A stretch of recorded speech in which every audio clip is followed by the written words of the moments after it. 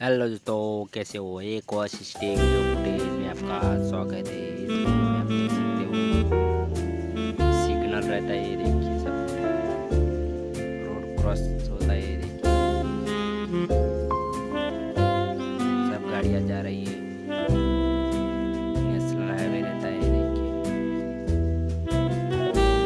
तो सामने से एक गाड़ी आती हुई है, देखिए। वो सीधा रिवाइंडर पे बैरिकेड रहता है, उस पे लग जाता है, ये देखिए।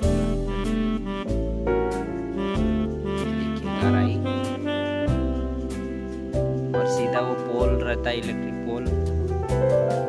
उस पर टकरा जाता है, ये देखिए।